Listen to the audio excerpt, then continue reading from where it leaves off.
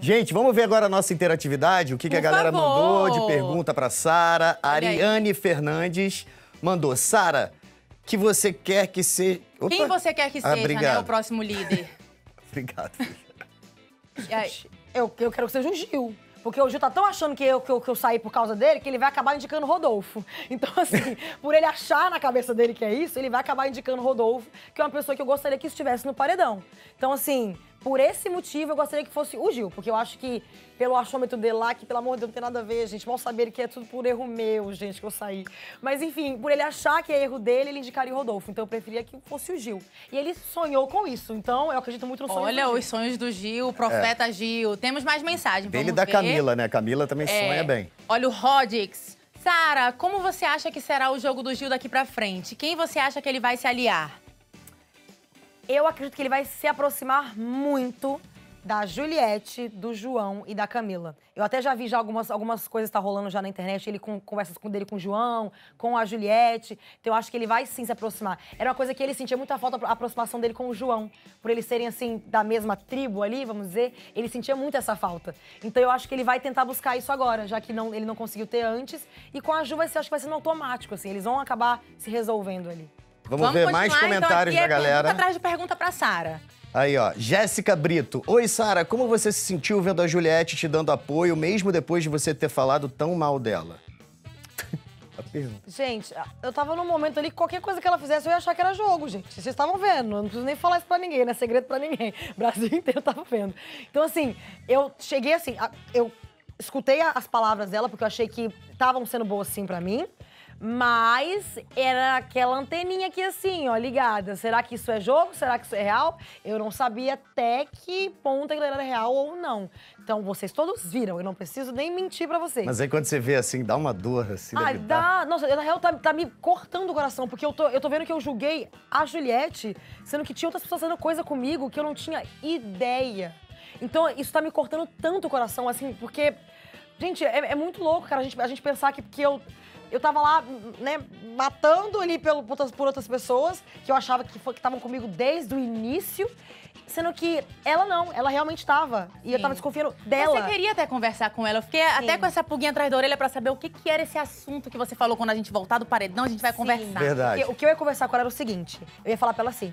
Bom, Ju, se a Carla, que eu desconfiei de uma coisa muito parecida contigo ali, assim, não, não vou dizer o mesmo motivo, mas coisas parecidas, eu consegui dar uma segunda chance, por que que pra você eu não posso dar? Não ia retirar as coisas que eu falei dela, e que- porque eu pensei, sim, eu ia falar isso pra ela, mas eu queria dar uma segunda chance pra essa amizade, pra ver o que que a gente ia conseguir fazer. Era, essa era a minha conversa que eu ia ter com ela.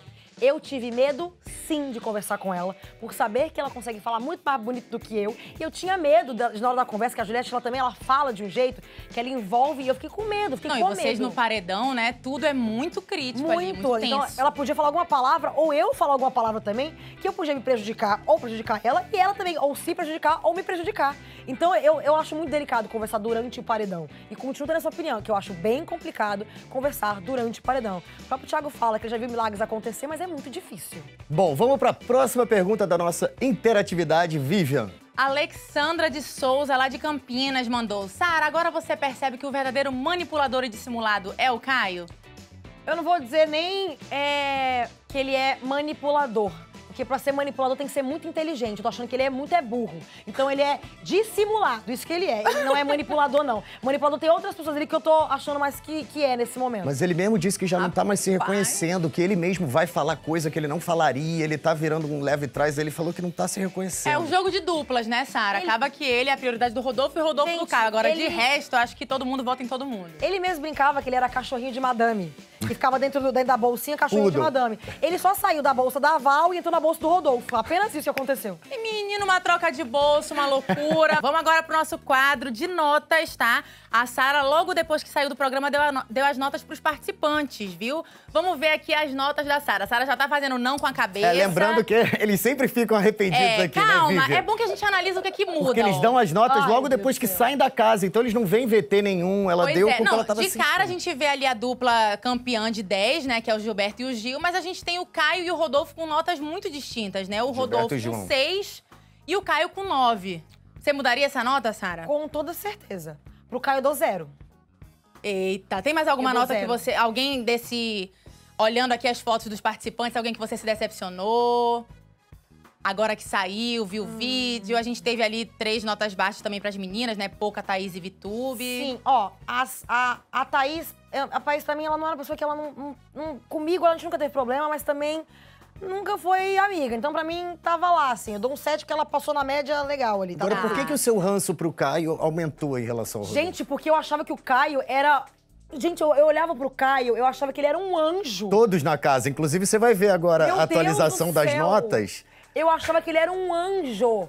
Quando eu comecei a ver tudo, eu não sei se ele faz aquilo de caso pensado, se não é, mas pelo amor de Deus, gente, não tem como. não- eu não consegui entender o tanto de coisa que eu vi de falas dele, conversas dele. Isso que eu, sim, eu vi só umas duas ou três, tá?